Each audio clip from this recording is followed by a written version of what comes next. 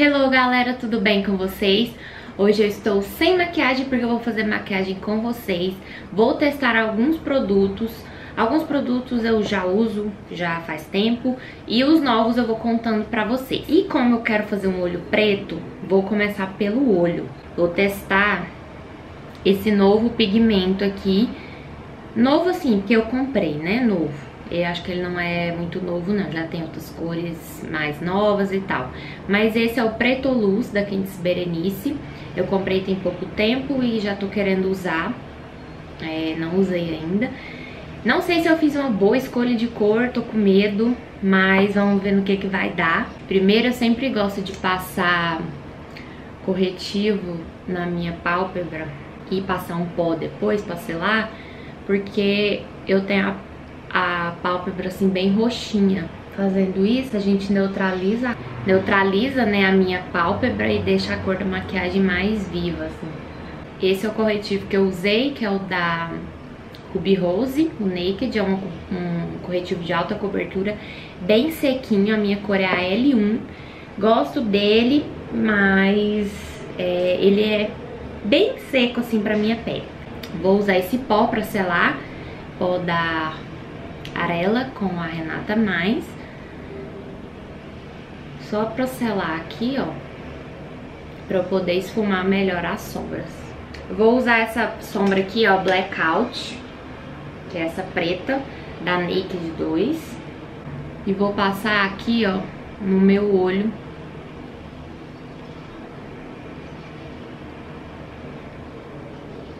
Quase pegando tudo aqui. Vou vir agora com um pincel de esfumar. Isso aqui depois a gente dá um jeito. E vou vir com essa sombra aqui, que é a Tease.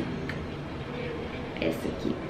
Bem clarinho e vou esfumar aqui, ó, acima do, do côncavo aqui, esfumar esse preto.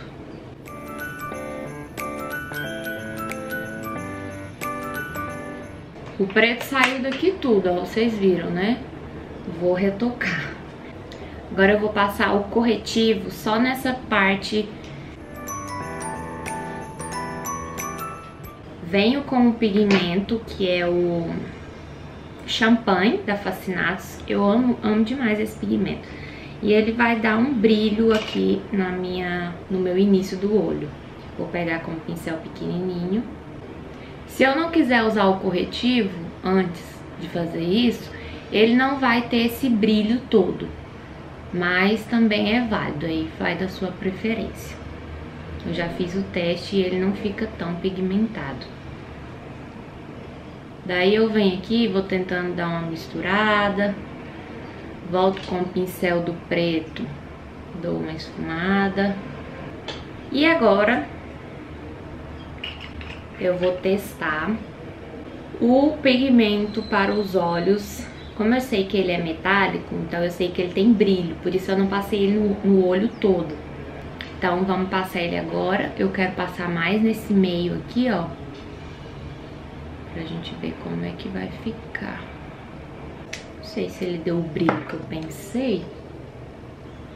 Hum, não parece. Vou pegar um pincel, vou dar uma misturadinha aqui, só dando umas batidinhas. Ah, agora eu tô conseguindo ver o brilho.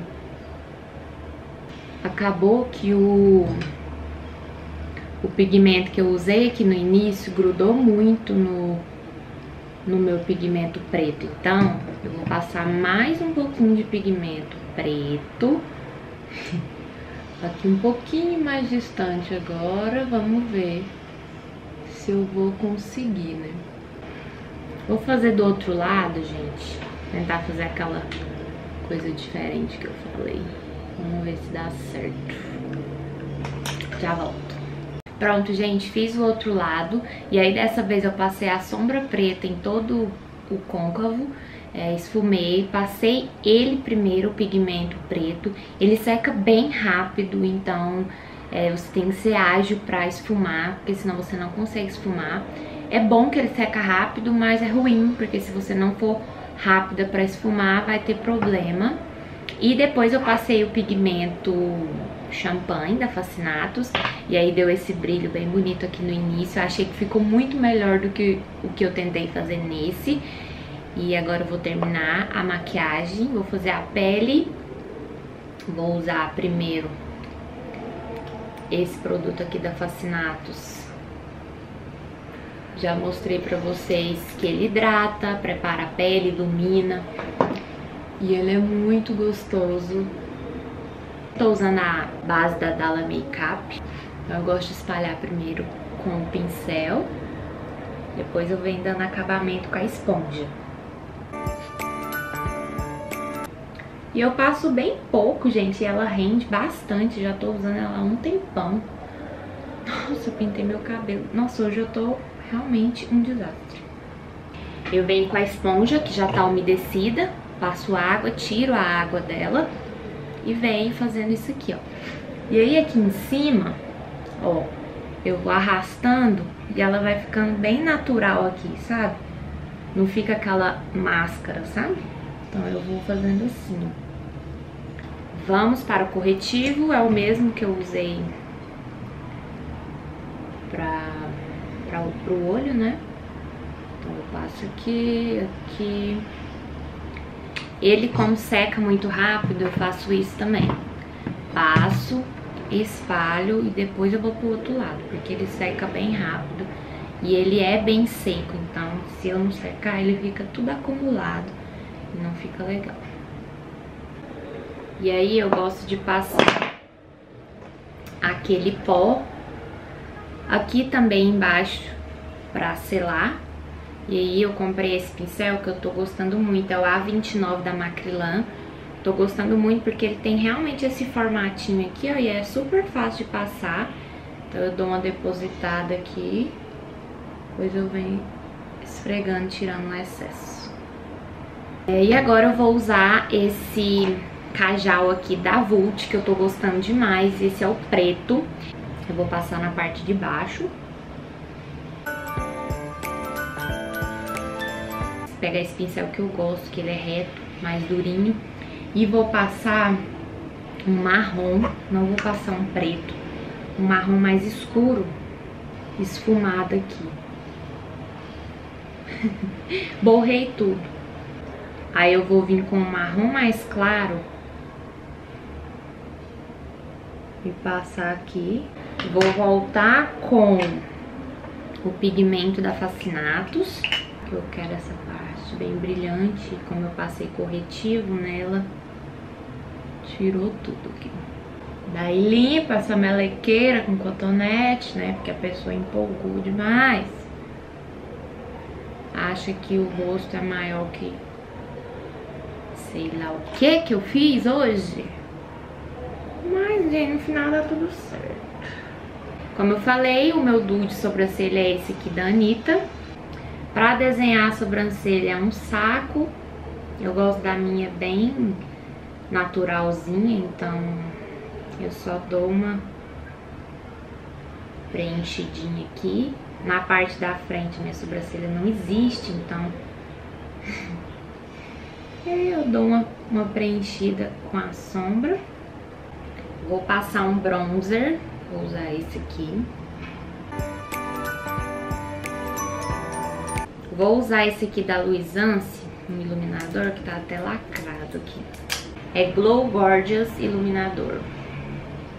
Ele é bem prata, nunca usei. Não sei se vai ficar bom, vamos testar hoje.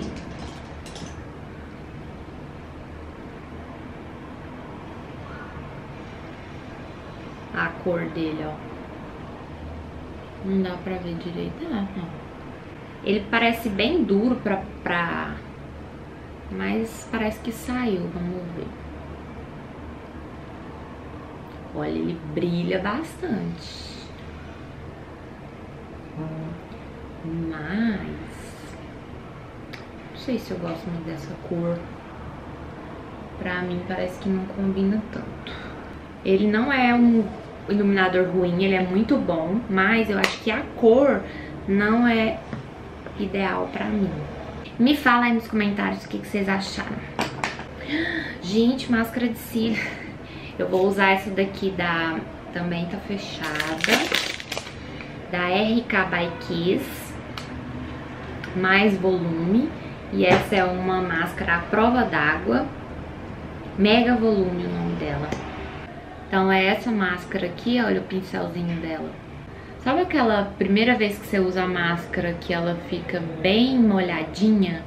Essa não é assim, ela já parece que você já usou já tem um tempo e ela tá naquele ponto que, que a gente gosta da máscara. Pelo menos eu gosto dela mais durinha. E aí ela tá nesse ponto. Não sei se ela é a prova d'água também. Não gosto muito de máscara à prova d'água, porque eu acho difícil de tirar. Deixa eu chegar mais perto pra vocês verem. Ó. Eu gostei muito da máscara. E eu vou passar só um brilho pra deixar a boca um pouquinho mais rosadinha. Eu vou passar o lip tint da Zanf. Daí eu venho, ó.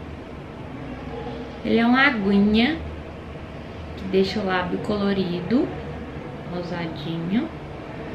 Ele não tá pegando onde tem a base, ó. Eu passo base na, na boca inteira. Deixa eu tirar aqui. E aí eu vou passar um brilho por cima. Vou usar esse aqui da Victoria's Secret. Ele é um gloss mesmo. Apesar de que eu queria só um rosadinho, ele ficou bem rosa, né? Bem vermelho. Hoje nada tá saindo como planejado, né, neném? Apesar de eu achar que eu tinha feito a escolha errada da cor do pigmento, eu gostei muito dele, acho que fica ideal pra usar assim por cima de alguma sombra, né, principalmente a preta. E ele seca bem rapidinho, ó, não, não tá soltando né, tinta, não tá soltando a cor, não tá saindo do olho, esse lado sai um pouquinho. Mas ele não tá, acho que é do, do Rino, ele não tá borrando, é, não tá grudento no olho, não tá preguento, então ele tá bem sequinho. Gostei, é, eu acho que eu vou testar outras cores também. Gostei muito dessa, dessa máscara aqui, mega volume, realmente ela dá um volume bem legal. É, eu senti um pouco de falta de, de alongar meu cílio mesmo, porque geralmente eu acho que as outras máscaras parece que alongam mais, além de dar o volume, mas ela é uma máscara de volume e ela cumpre o que ela promete. A prova d'água não sei, porque eu não, não vou molhar meu rosto agora, mas eu gostei. É, o iluminador da Luisance é muito lindo, a textura dele é bem dura, mas quando você passa assim a mão ou o pincel, ele sai com facilidade. Mas eu achei a cor bem prateada, ó, ele brilha muito bonito, mas achei a cor bem prateada pra mim. O Cajal, eu acho que eu não tinha falado pra, é, dele pra vocês, mas eu também é, já tinha gostado bastante dele. É, o tamanho dele é muito bom e ele é daqueles mais grossinhos, então tem que ter um apontador mais grossinho pra apontar é, ele. Mas eu gosto muito, ele é macio e ele é bem pretinho. E eu acho que de novidade é isso, né, gente? O resto eu já falei, já mostrei, já... Ó, esse Magic aqui da, da Fascinato Sérum Facial é maravilhoso. Esse da Zanf também, já falei lá no Instagram que ele é um Gosto dele pra dar uma corzinha, mas não uso ele sozinho. Sempre uso com brilho, porque ele não... Ele fica muito ressecado na minha boca. Espero que vocês tenham gostado desse tipo de vídeo. Se vocês gostam, assim, testando novos produtos, falando o que eu acho, deixa nos comentários, deixa seu like e se inscreva no canal para mais dicas de maquiagem e cabelo, que em breve vão estar ao ar para vocês. Um beijo e até mais. Tchau!